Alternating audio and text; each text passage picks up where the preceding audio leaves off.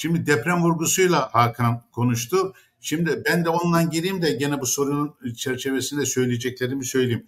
Ya biz olan deprem içinde bir şey yapmıyoruz, olacak olan deprem içinde bir şey yapmıyoruz kardeşim. Yani galiba deprem olduktan sonra ahvah gibi eski modelimize geri döneceğiz.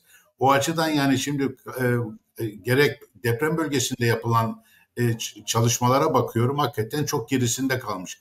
E, hatta oradan da şikayetler geliyor. İstanbul için bas bas bağırıyor sanki bir şekilde bütün o bilim insanları da her seferinde gündemde tutuyor ama onun için ne yapılacağı konusu da açık değil. Yani yavaş yürüyen bir e, kentsel dönüşüm söz konusu. Yani İstanbul'u biraz seyrekleştirme konusunda sözler var ama kimsenin e, bir yere gideceği yok.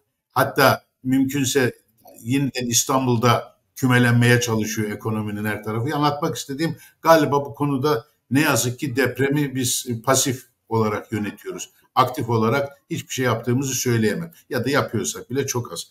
Şimdi ben önümüzdeki dönemdeki bir başka depremi şuradan bekliyorum. Ee, anlatılanların dışında şunu ilave edeyim ben. Ya şimdi büyüme rakamı düşüyor.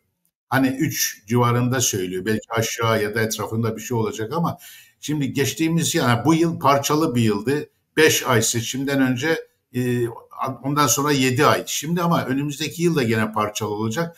3 ay seçime kadar seçimden sonra başka bir yıl ama başka bir yıl seçimden sonrasında galiba ekonominin temel e, tartışma konusu küçülme.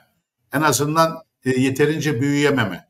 Bu da şirketlerin açıkçası bence yavaş yavaş küçülme için kendilerinin pozisyonlaması noktasına getiriyor ki o çerçevede de bildikleri tek şey şirketlerimizin küçülme deyince insan çıkarmak, personel çıkarmak falan. Bu da sanıyorum gelecek yılın en büyük sıkıntılarından bir tanesi işsizlik olacağı yönündedir. O açıdan Türkiye işsizliğiyle ne yapacak? Bu küçülen ekonomi içerisinde bu kadar işsizle nasıl baş edeceğiz?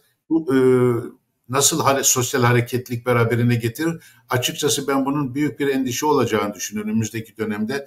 Ve işte asgari ücrette artış var, şu var vesaire ama enflasyon olduğu dönemde hele asgari ücretin yılda bir kere artılacağı beyanı da şunu gösteriyor. Büyük ihtimalle yılın yarısına varmadan asgari ücretin gelen artışı enflasyon alıp götürecek geriye yeniden daha bir zam artışı gelecek. Zam artışı bir tarafta yani ücret artışı bir tarafta öbür tarafta fiyat artışları e, da enflasyonun kendi seyriyle gideceği konusunu ben görüyorum. Bu da işsiz burada nasıl baş edecek? Bir de bizim ekonomi bakanı iki de bir bugün yine söylemiş bizim ekonomi ekonomim sitesimizde de var.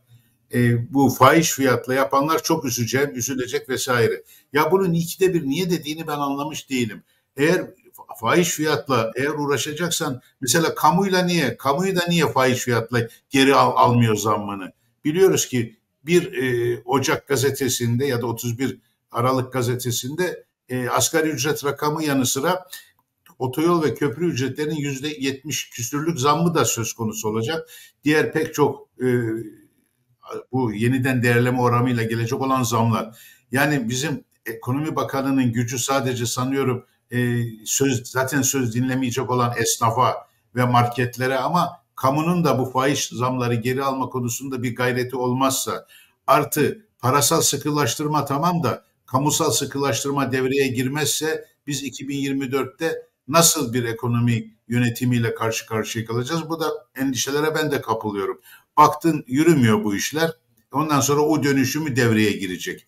Açıkçası bu çerçevede ben önümüzdeki dönemde küçülme, şirketlerin küçülme planlarının sadece personel çıkarma üzerine kurmaları artı hükümetin de hala bu parasal sıkılaştırmaya katılmamasının getirdiği sıkıntılarla beraber e, zor geçecek bir yıl olduğunu düşünüyorum.